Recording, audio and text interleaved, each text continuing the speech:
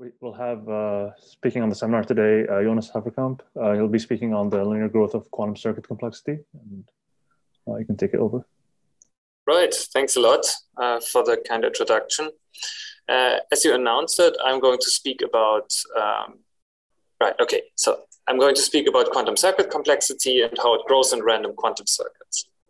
I was lucky enough to got to collaborate with this group of people so this is Philippe Faist, uh, Naga Kothakonda, Jens Eisert, and Nicole Yunger Halpern. I think Nicole just started uh, in Maryland, so you all probably know her at least. Um, you can find it under this arXiv identifier, but of course, it's probably easier to just Google the title. So let's dive right in. The key concept in this talk is going to be quantum complexity, and quantum complexity is really a well established concept in quantum information theory and uh, also beyond that. And it's not really very surprising because complexity, at least in the most vague way of phrasing it, just classifies which operations are hard and which are easy. And obviously, everyone who works theoretically or even practically with the implementation of operations cares whether it's difficult and how many resources you actually require. So in fact, it turns out the classical analog of the quantity that I'm going to talk about is really one of the most ubiquitous objects in classical computer science. And it's notoriously hard and touches almost every important topic in classical computer science. So it's related to communication complexity, to de-randomization. It's also related to the separation of complexity classes. And this already gives you a hint of how difficult it might be to actually bound or feel or estimate uh, the, the, circuit complexity of Boolean functions, for example. But also in physics, it makes surprise appearances. For example, in the defini definition of topological phases of matter, um, you can define a family of states of ground states of Hamiltonians to be in a topological phase if you require more than uh, than constant depth circuits to prepare these states. So in order to, for example, show that some state is actually in a topological phase, you would have to prove circuit lower bounds on them. And then last but not least, uh, an application which is of particular importance for this talk, at least for the, for the motivation for the results in this talk, is the so-called AdS-CFT correspondence. So here, the circuit complexity or quantum circuit complexity is conjectured to correspond to properties of black holes or of regions beyond the event horizon in black holes.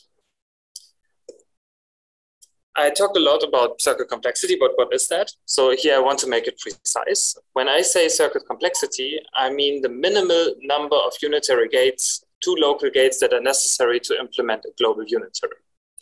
It is in fact a, a sort of folklore result I think that every unitary U can be exactly decomposed into uh, two local unitaries. For example, I think you can find this result in, in Nielsen Chuang, like in the classical textbook.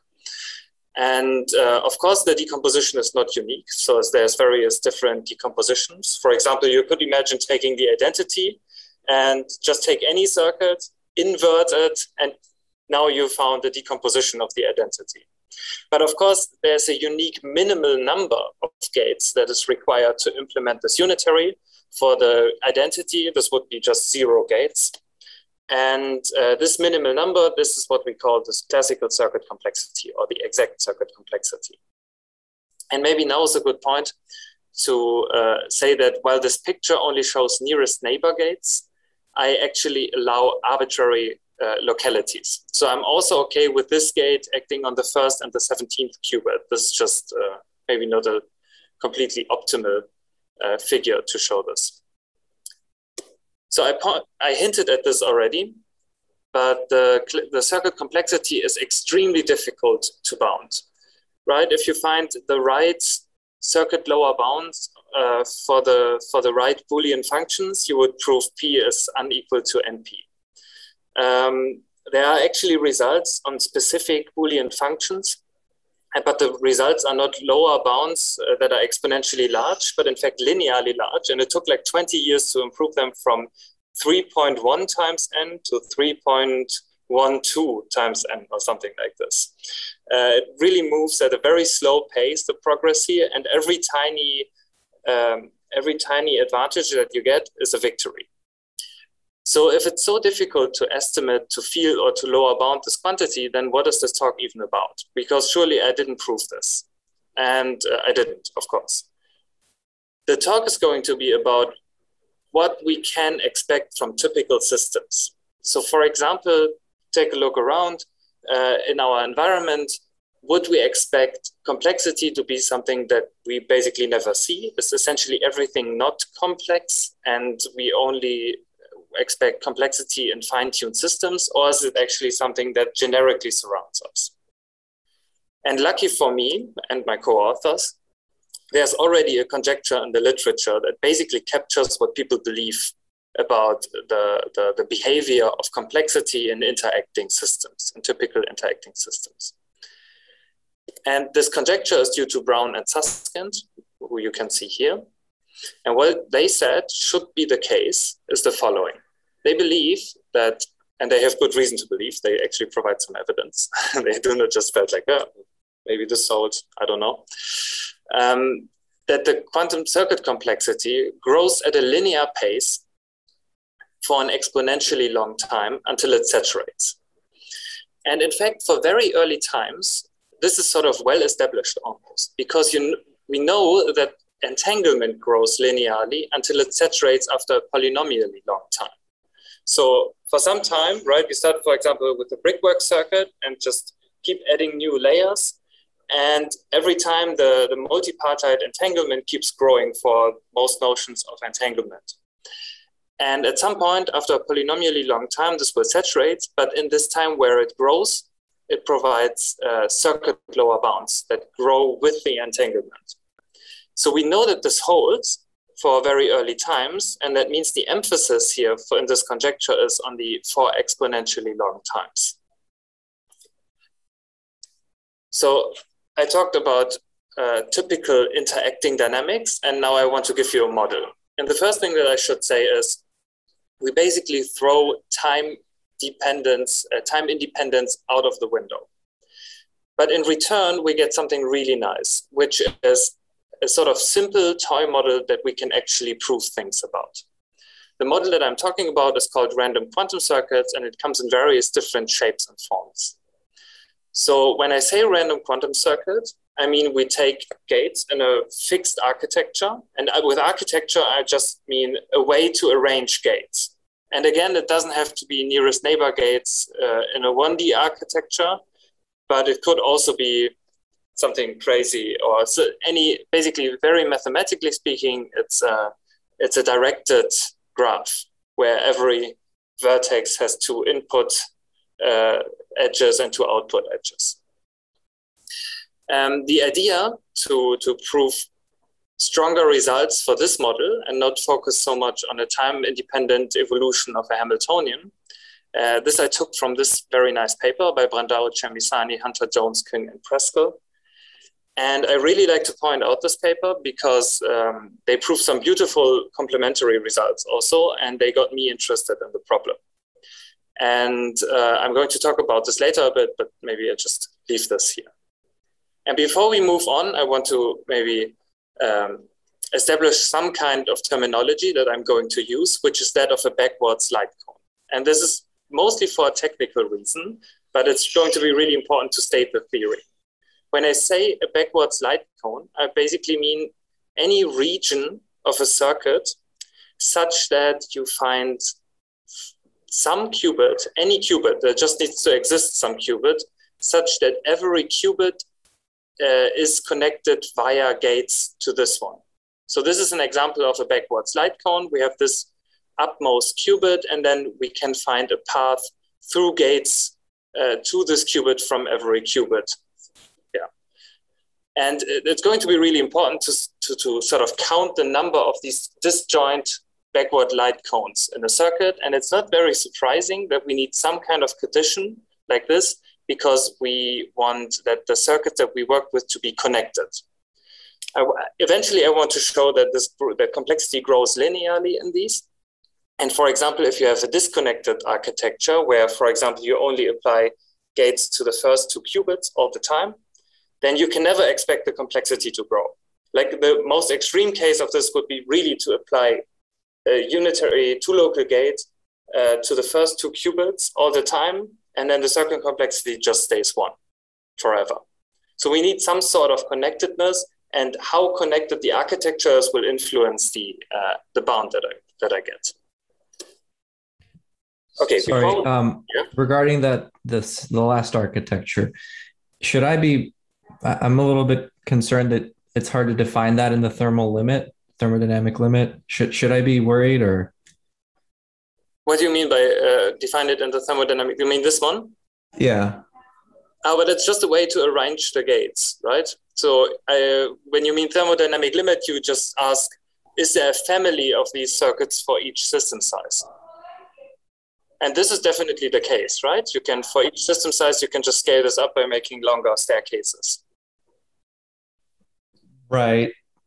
But, then if you don't have edges, like well, if you don't have a beginning or an end.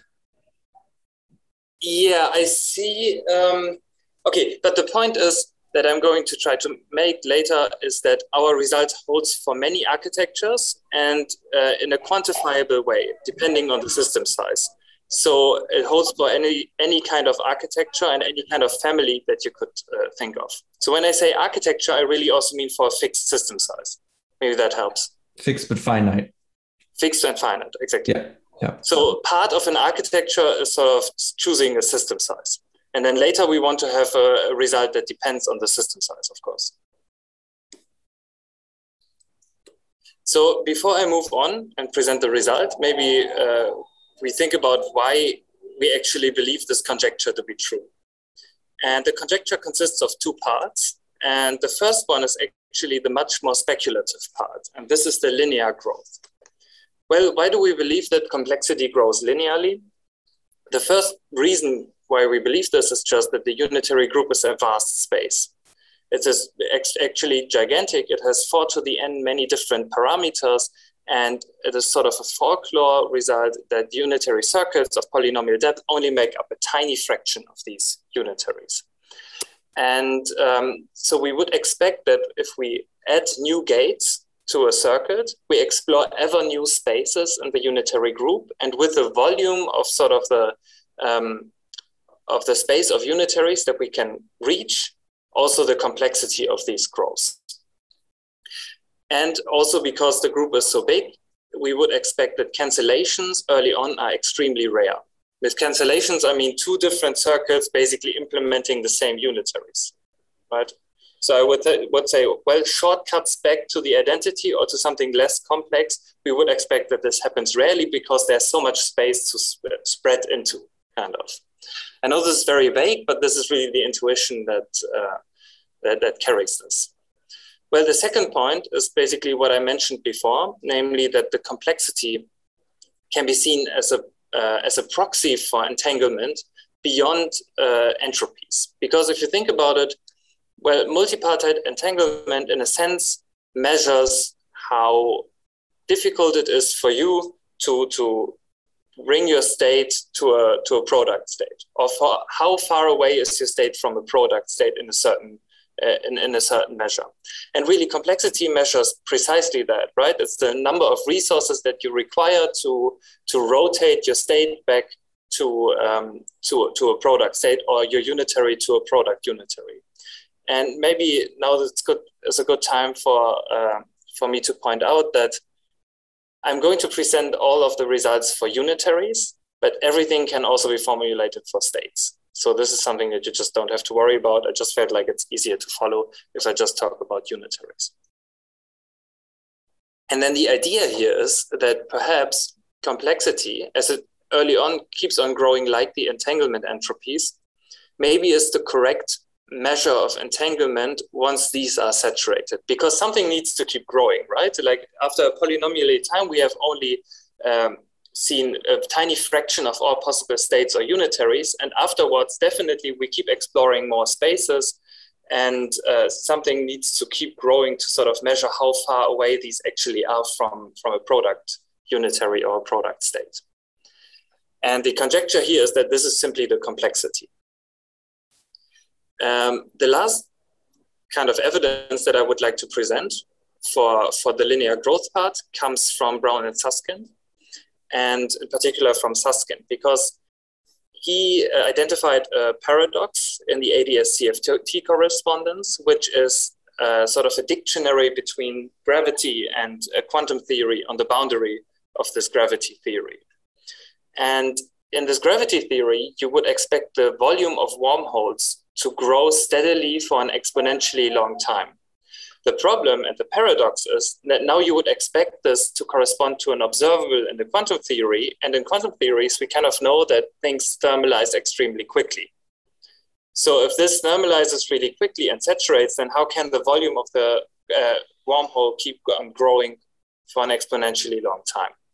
And in the same uh, in the same paper, essentially, Susskind also resolves this by conjecturing that the quantity that corresponds to the volume on the on the AdS side is the complexity of the side uh, of the state in the CFT. Um, whether this holds or not, it, uh, it led to this conjecture, which I'm extremely grateful for.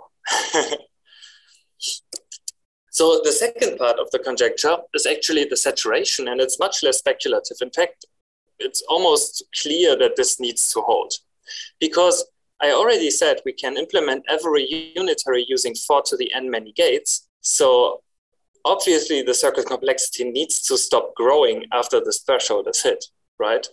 Because if every unitary can be implemented with this many gates, the circuit complexity is also always upper bounded by this. And moreover, there's a second uh, folklore result that I mentioned before, which is that most gates are actually, uh, most unitaries are actually extremely complex. So if we are already in this regime where we hit every unitary, then adding another gate will, will with very high probability not hit one of these extremely rare low complexity unitaries. So we would expect that with high probability, the complexity just stays high.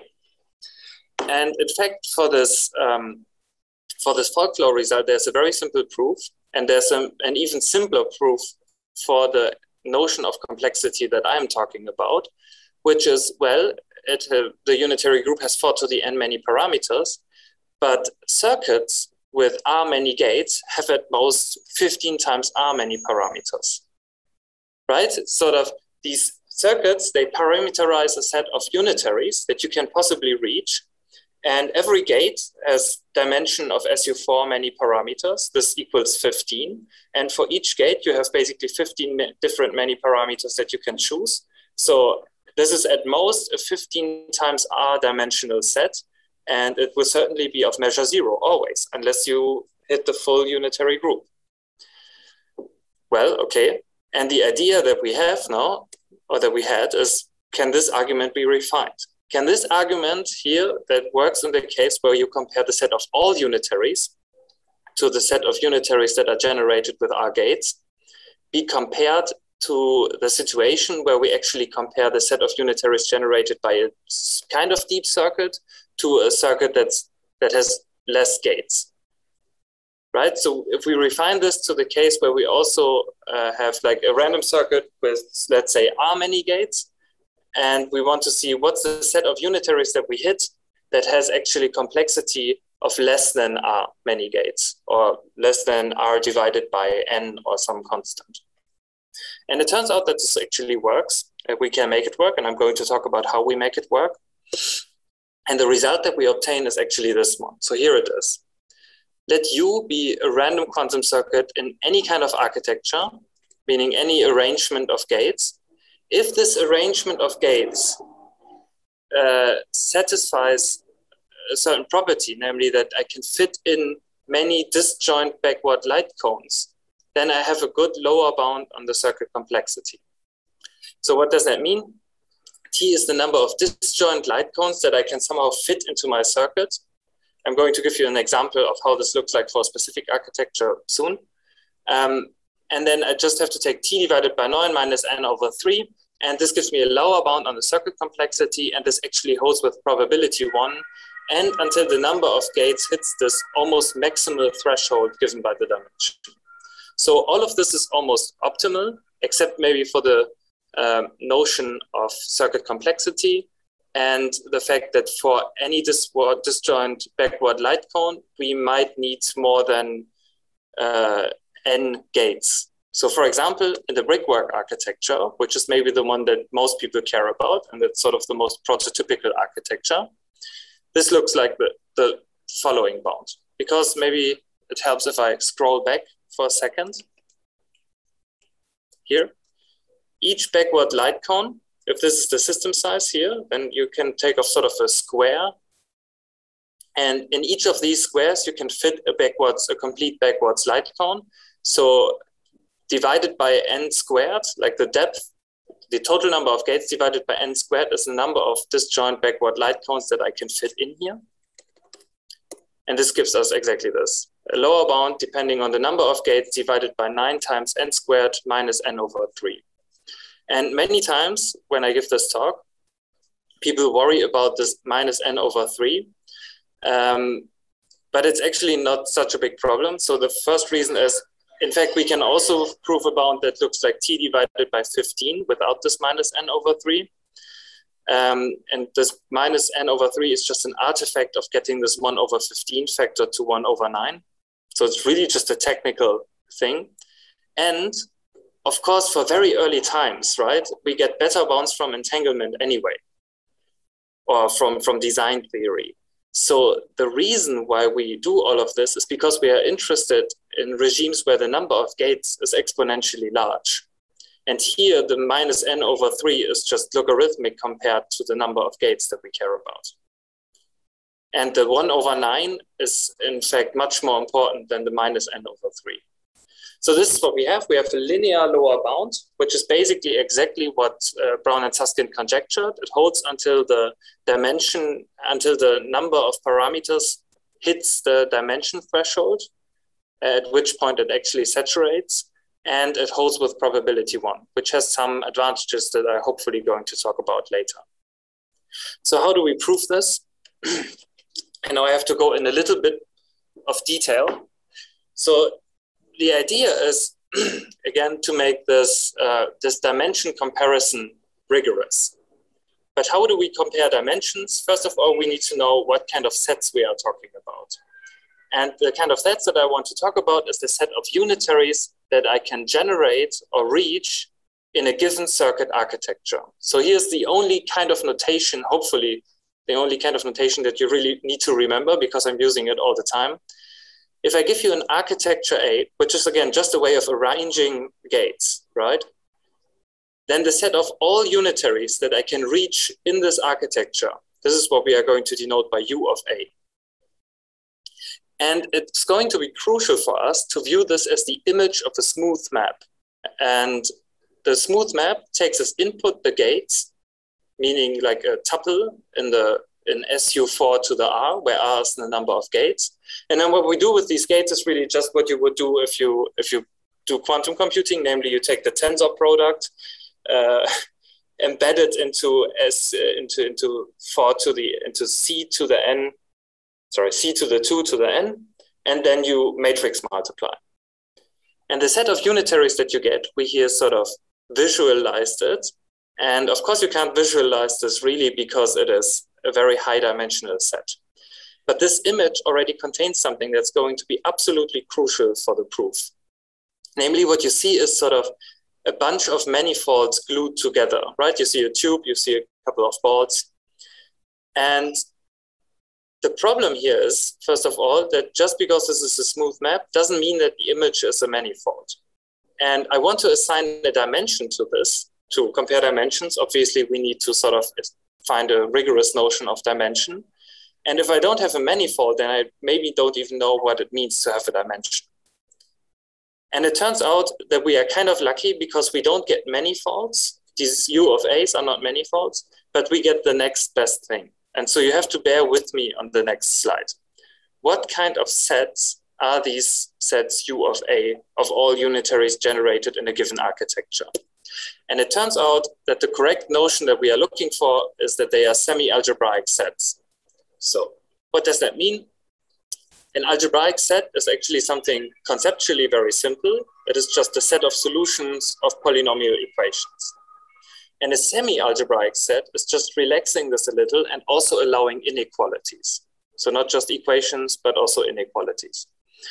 And maybe the prototypical example for, for an algebraic set is the sphere, which is just characterized as the set of solutions of the polynomial equation x squared plus y squared plus z squared equals one. And it turns out that the unitary group, and in fact, the set of all possible gates, like here, these here, this is also an algebraic set because it's just a set of, of matrices that satisfy the polynomial equation u times u dagger equals the identity. And also we work with a special unitary group, but this is not the problem because determinant of u equals one is also a polynomial equation. So the domain of this map is really just an algebraic set. And now we apply a polynomial map to it, which is just a map whose entries are polynomial. And it turns out that whenever we have the situation that there's a very deep theorem that comes from quantum quantifier elimination, and it guarantees us that the image of this map is going to be semi-algebraic.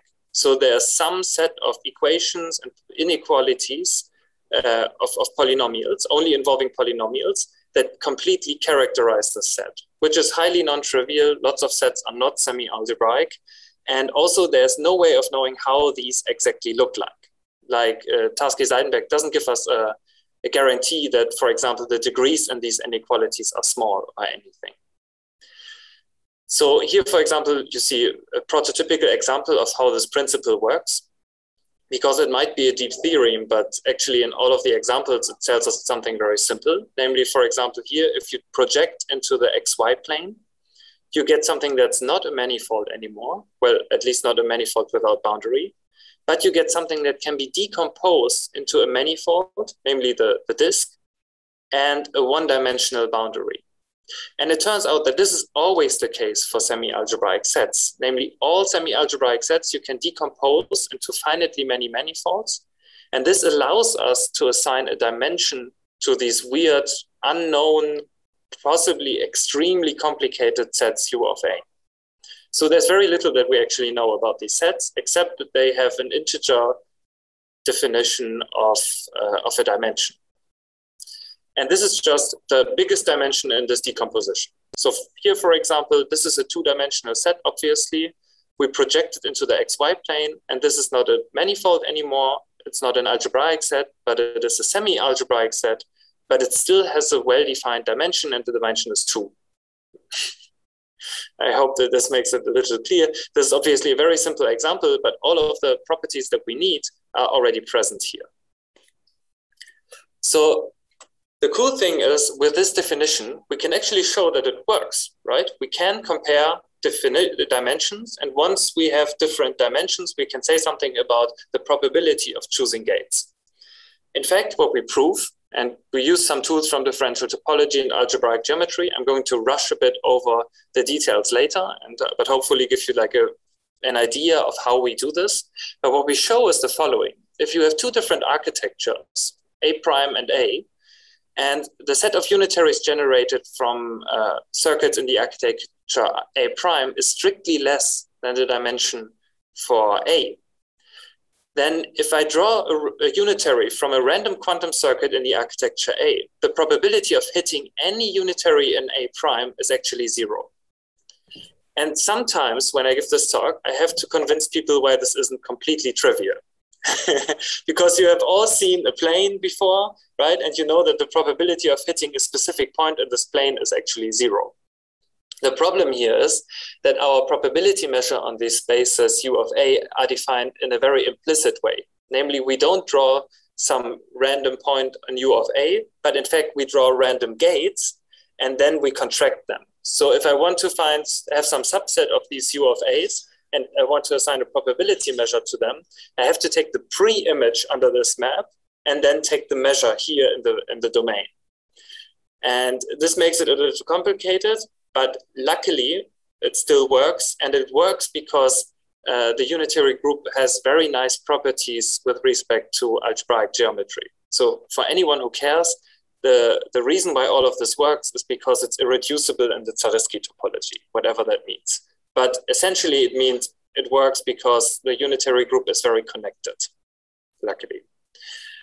So if this works, then we can show linear growth of complexity, basically, if we have a lower bound on the dimension for any given circuit architecture. So let's think about the brickwork architecture on the following.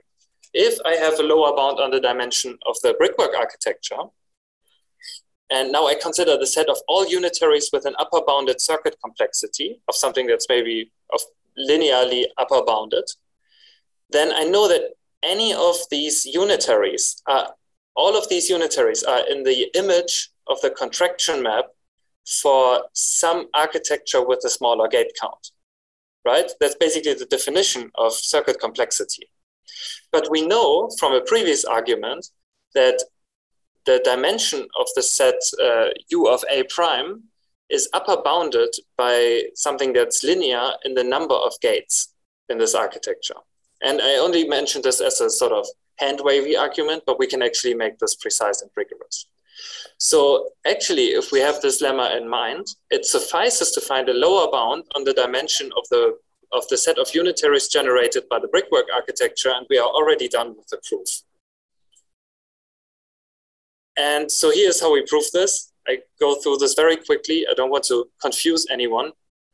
But the point is that, um, that uh, we view this contraction map as a smooth map. And in every point, the smooth map has a rank. And we can show that the points where the smooth, uh, the, the, the smooth map has less than maximal rank, that these points are a strictly lower dimensional algebraic set. And therefore, they are um, therefore, they are um, of measure zero and they are closed. And that means that the complement where the set is, uh, where the rank is actually maximal is an open set of measure one. So essentially everywhere the rank is constant and maximal. And that means that essentially everywhere this is locally equivalent to a projector or to its own derivative, meaning to a linear map.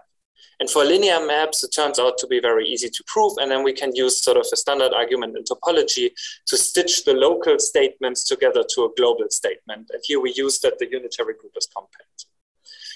Doesn't matter so much, but we achieve something very important that I want to talk about after the slide.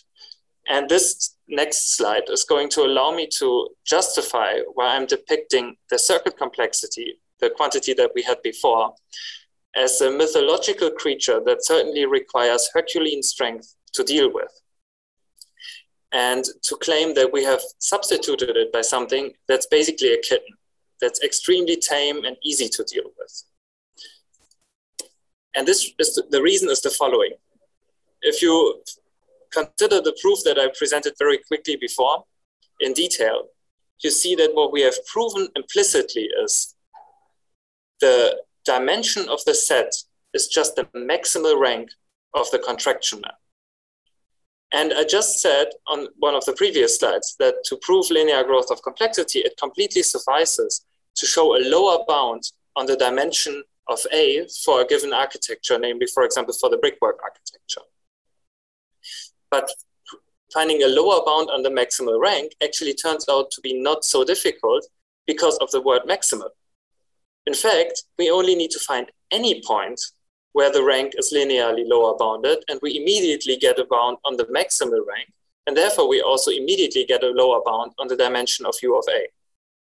And it turns out that the entire proof, because of the previous lemma, will be reduced to finding a single example of a circuit that has a very high rank with respect to this contraction map. So what does that mean in detail? How does this actually look like? I said rank before a lot, and I hope some of you remembered it and sort of got what I meant by it. But in case you didn't, here's now the rigorous definition. So the definition of a rank uh, comes from the notion of a Jacobian of a smooth map. And the Jacobian is really just a matrix that has the partial derivatives of your map in a given parameterization as columns. That's already it. That's basically just the definition. You, you fix a parameterization of your smooth map, and then you say, oh, let's take partial derivatives, and all of these partial derivatives, you just write them behind each other. This gives you a matrix, and the rank of this matrix is the rank of the smooth map in this point. This is what I was talking about all the time. And in particular, for the circuit contraction map, we have a very simple characterization of these partial derivatives. And I said, I want a lower bound on the dimension. And then I said, well, okay, I want a lower bound on the rank in any point because it gives us a lower bound on the rank, uh, on the maximal rank.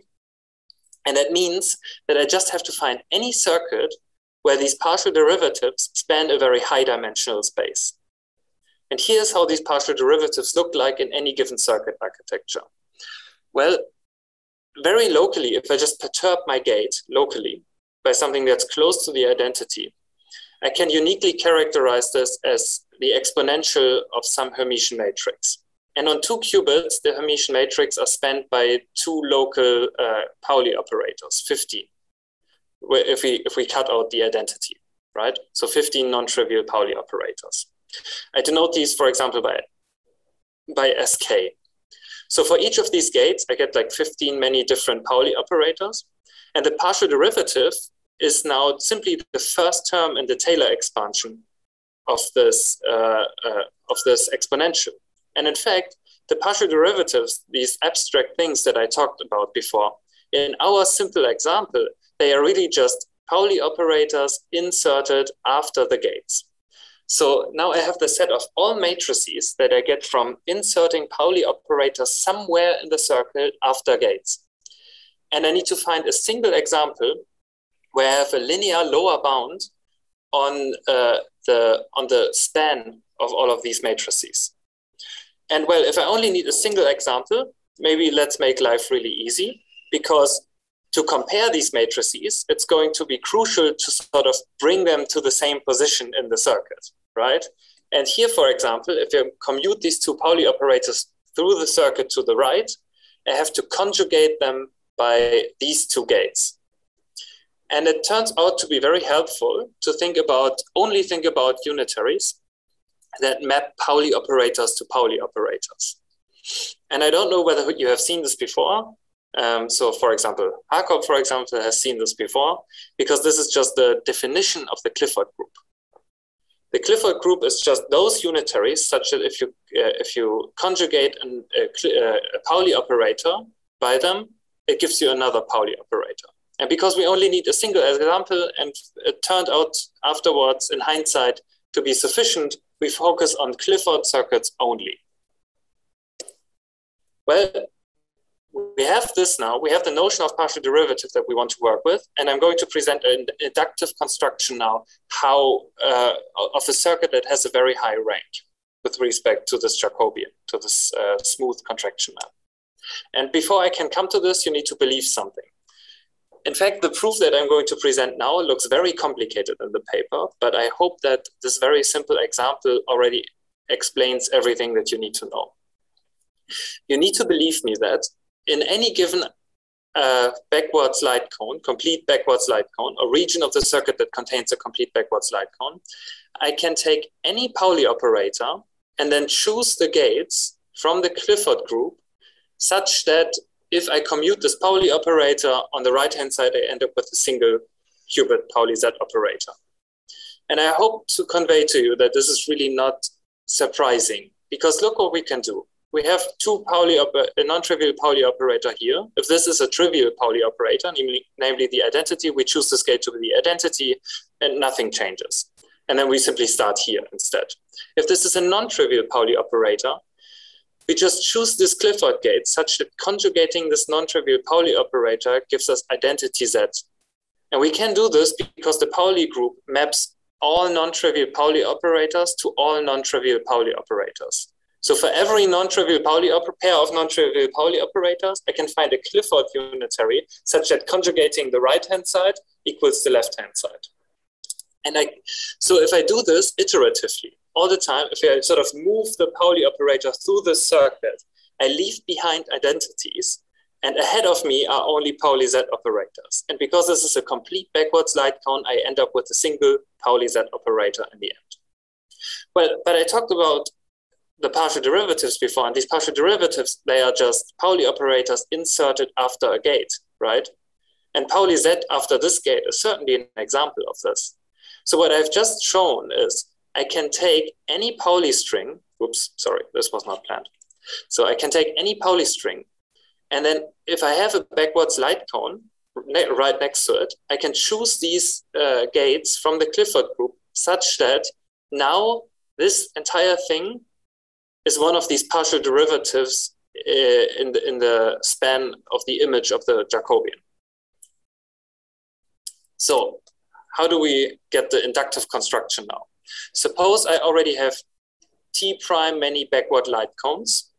And by commuting Pauli operators through this circuit, I already have T prime many uh, independent Pauli operators. And something that I haven't mentioned before is the cool thing about Pauli operators is they are an orthonormal basis of the Hermitian matrices. So if I have 17 different Pauli operators, they span a 17 dimensional space. So we do not really have to worry about linear independence. We only have to generate different Pauli operators. Suppose we have T prime many Pauli operators. We can simply choose the next light cone uh, to be such that any Pauli string that is not in the set is mapped to a single Pauli Z operator.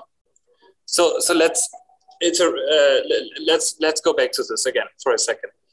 We have a set of T prime many Pauli operators. We have chosen any Pauli operator that's not in the set, which is always possible unless T prime is already 4 to the n minus 1, which is the number of non-trivial Pauli operators.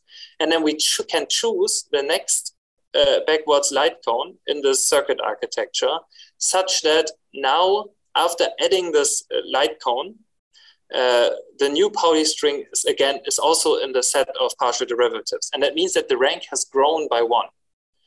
And that means we have a lower bound on the rank of, uh, of the smooth map in this particular point that is linearly lower bounded by the number of backward light cones.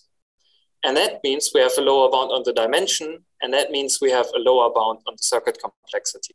And this is already the entire proof up to some very boring topological uh, details. So what have we achieved? At least what do I think that we have achieved? I think we have achieved sort of a minimal version and minimal, I, we have to write it with a capital M, I'm afraid, a minimal version of what Brown and Susskind conjecture. And the first thing that I would like to improve in the future, and unfortunately, this might be a daunting task, but we could still try and we know what we need to understand, is to make it error robust. Because in the very beginning, I said we take the exact circuit implementation, but that means, for example, that you have arbitrarily close to the identity uh, unitaries with an exponentially large circuit complexity. So for anyone who really cares about implementation or practicality, this is merely a mathematical uh, result, right? So, so the notion of circuit complexity is extremely restrictive, and this is something that I want to change in the future. And in fact, we actually have a partial result here, but it is a little underwhelming. So we can make everything finite uh, and show linear growth of quantum circuit complexity for, an, for a robust notion of circuit complexity. The problem is only that we don't know how the error scales with n. Of course, we believe that this is well behaved, but as far as we know, the robustness error might be inverse triple exponentially small. Making this more robust, um, I think amounts to figuring out how winded or curved these spaces are. So, so far we only used one property of these spaces, which is the dimension, right? And if we want to figure out some stronger statement and see what happens if we add sort of an epsilon to these spaces and how, how much volume they take up then, we need to figure out how winded or fractal like they actually are or whether they are mostly flat. And while this might be possible, it looks also very, very, very difficult, but I'm thinking about it right now. A, a different direction, something that I've worked on before and uh, failed, is to use the approach uh, from the Brandao, Chemissany, Hunter, Jones, Kueng, and Preskill paper. Here, they not only come up with a very nice notion and strong notion of quantum circuit complexity that is not based on the implementation at all, but only on the distinguishability from the most useless channel, namely the one that sends every state to the maximally mixed state they also show that if you have the so-called unitary t-design, namely a probability distribution that mimics Haar randomness up to high moments, uh, then you get a lower bound on this notion of circuit complexity. And in order to prove that you have linear growth, you would have to show that, um, that you can generate uh, unitary t-designs in depth O of n and t being both linear and n and the moments. And so far, there's only something that scales like n times t to the 11 or something like this uh, from Brandao, Harrow, Horodecki, or n and t, but in the limit of large local dimensions. So this is far from being proven, and I think this would be one of the most profound statements that you uh, that I, I would be interested in at least. So here we have some ideas how to approach the problem at least, but it's going to be extremely difficult. The other question is, can we sort of consider a stronger model or a more physical model, which consists of the time evolution of maybe even a specific or an ensemble of time independent Hamiltonians, or even of the so-called thermofield double state, uh, which is the state of question in this wormhole growth paradox? And the answer is, I uh, well, there's evidence. There's evidence uh, mostly up to computational complexity assumptions, but I, for my part, have no idea how to attack it. And I, I think it's fair to say that maybe the methods of computational complexity are also not just not quite sufficient to tackle this problem. So certainly the methods in this paper do not suffice because we make crucial use of the fact that every time we add a new gate, we also add new degrees of freedom and we generate higher and higher dimensional sets. And we simply do not have this here. And it's very much in line with the approach here, which is different because it doesn't use uh, differential geometry or algebraic geometry, but it also uses that we um, that we generate very random sets in a sense, the more gates we add. That the sets we generate are more and more random. And we don't have this from the time evolution of time independent Hamiltonians, unfortunately. So all methods fail. Um, I think I stop here. I thank you very much for your attention, and I would be happy to answer questions if there are any. Thank you very much, Jonas. Um, we have time for a few questions if anyone has any. Um, yes, I thought that was a very interesting talk. Um, I'm curious. Uh, one thing about um, that I'm curious about is um, th- this idea of whether we can, um, say, measure the amount of work that needs to go into computing a particular um, distribution or a particular state. so I'm thinking possibly of interpreting your result as saying if you choose a randomly generated quantum circuit with a certain architecture, then you can actually definitively say that um, computing the, the state that results from that circuit requires a certain amount of work. Is, is that kind of a fair interpretation? Exactly the point, at least in a, uh, in a very idealized mathematical framework. Yes. Mm. Okay. So, so the point is really basically this is what you would expect. It is it is really you wouldn't expect if you add have 17 gates, right? and you draw 17 different gates, you would expect basically that you need more or less 17 gates also to implement this. Basically, what we show is that the following situation is rare. The situation that you have a very long circuit and you have like arbitrary gates, and these gates, for some reason, can be implemented with a much smaller circuit. So they accidentally hit a lower complexity unitary. And we just say that this doesn't happen too often. Okay, thanks. Yeah, and I think it's very plausible that this is the case. Also for some stronger notion of quantum circuit complexity. Maybe it doesn't hold. So this is something that I'm interested in. For example, we have this very strong statement with respect to the uh, threshold uh, uh, until the result holds before it saturates. I would expect if you have a more robust uh, notion of complexity, that maybe it doesn't hold until uh, uh, 4 to the n minus 1 anymore, but up to some smaller exponential threshold.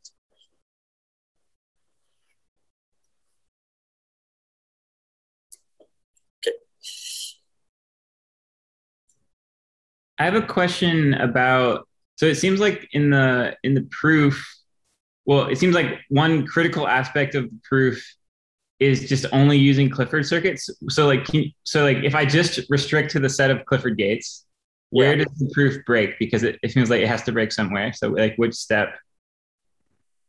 Um, uh, so it depends on what you mean. I mean, some some things break in any case, but it depends on what you mean by only using Clifford gates. Um, um, so the point is, do you want to have a circuit complexity defined in terms of Clifford gates, or? Sure. Yeah. Is this the idea? So So for example, there's different notion of circuit complexity that works for the implementation of a unitary with Clifford unitaries and T-gates. And then basically what you count is the number of T-gates, right? Because you know every Clifford unitary can be implemented using n squared divided by log n many uh, two local gates.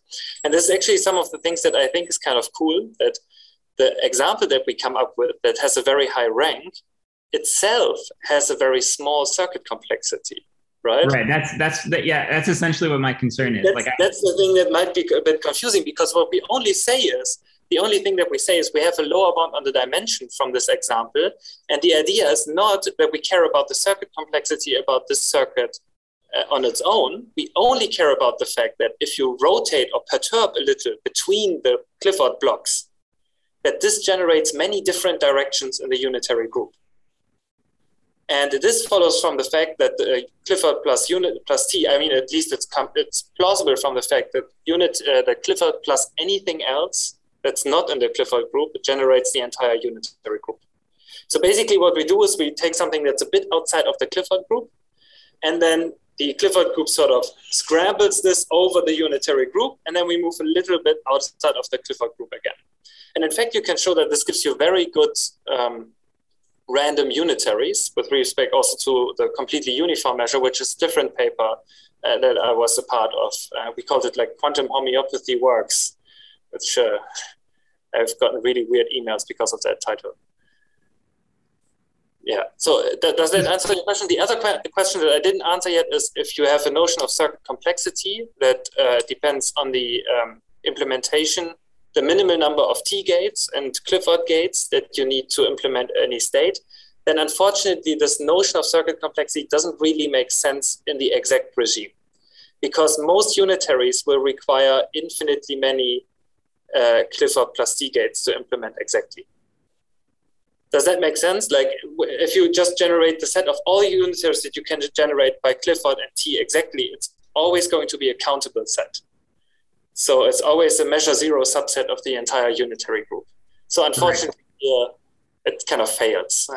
yeah, I guess the thing I was particularly concerned is like was like which like in in the proof that you've given you you've shown that the dimension of the space is large, yeah. but then like where like where in the where in the proof is it that you're like you're you're starting like that you're you're dealing with a with a set of gates which is larger than the Clifford group or a set of unitary. Yeah, so the idea is really in the perturbations because actually, I mean, we use dif- uh, differential topology, right? So actually, the thing that we care about when we say uh, the partial derivatives, these are sort of infinitesimal perturbations, right, of the Clifford circuit. And the if we insert Pauli operators here, then sure, this gives us a discrete set of uh, of partial derivatives, but these are actually directions. So it says there are uh, exponentially many different directions in which, if we infinitesimally perturb the, um, uh, the, the, the, the, map sort of spreads. And this is where we use something outside of the Clifford group, and this infinitesimal perturbation outside of the Clifford group. Does that sort of answer the question? Yeah, I, so. I mean, yeah. the, the point is, in the end, there's no reason to believe that the Clifford group, that this rank is maximal in the Clifford group. I think probably you could come up with a better example. It's just that we constructed this example, and um, I hope at some point someone else comes up with a better one. Okay, thanks. Hi, Jonas. Brian Swingle here. Very nice talk. Um, hi, hi. I wonder if you can generalize this to add like a little bit of non-Hermitian evolution into the circuit. Yeah, okay. is there a particular model that you have in mind? Also, so, so the point is, whenever we, okay, I'm kind of, um, I think probably things work as long as everything is continuous and exact. whenever it becomes discrete and combinatorial, everything breaks down because we can't use differential topology anymore. Yeah. And non-Hermitian still sounds like we could draw from some group, maybe up to some Gaussian measure. Well, maybe it's not a compact group anymore, so we don't have a Haar measure but we have like, yeah, you know, things like this could still work here. Hmm. So when, yeah. whenever we have continuous spaces of parameters, I think uh, ideas like this should work. Yeah, I mean, I, I have various thoughts, but you know, one relates, for example, to this measurement-induced phase transition story. So if, if you you know if you make too much sort of measurement or non-Hermitian evolution, it probably goes to a, like a low entangled phase, and then I doubt you know then you shouldn't be able to prove that the complexity is high. But maybe in sort of if you don't have too much non-hermiticity, yes, still prove something maybe this is the case. The, the, the problem that I always see is um, um, I do not really expect that this could work for any notion of complexity that is expected to jump. because if my, it, I cannot have bounds that are better than the dimension of the set of unitaries that I generate, because mm-hmm. this is mm-hmm. where we get our lower bound from. And if I have a set of unitaries that generates like a, a polynomially uh, dimensional space, for example, polydepth circuits, even though we draw them at random, then no model can give me something that's better than polynomial bound from mm. this. And this is what I'm what makes me a little a little skeptical when, when I think about these these models where you expect that the circuit complexity actually jumps up after a polynomial threshold is met. Mm-hmm. I see. Thanks.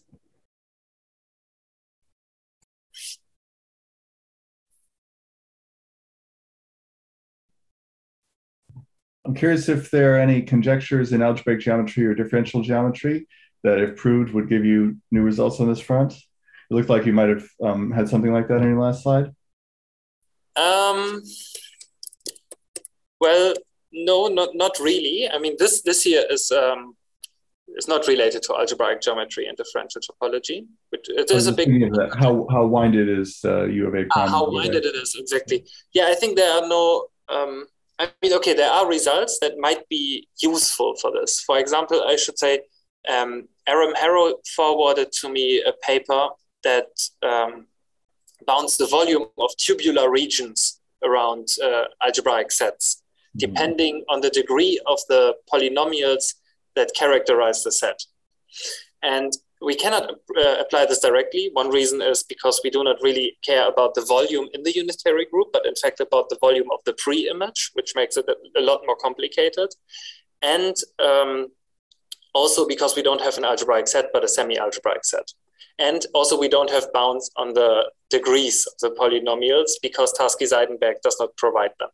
So a lot of things don't work, but in this paper, they use a lot of bounds that only depend on integrals over the curvature. And I have a very vague feeling maybe it suffices to just integrate over curvature, and curvature itself is a second degree polynomial. And lucky for us, these sets generate so called unitary 2 designs up to a very small approximation error. And maybe it's possible to use the 2 design property to sort of evaluate integrals over curvature and get bounds from this. But I, I don't think that people in algebraic geometry uh, like have a conjecture that really just fits the problem. Uh, I think this may be a bit too optimistic, but um, yeah, there are ideas around that might be possible, that might work, but uh, you know, the devil is in the details. Um, it might also not work. Okay, yeah, that makes sense.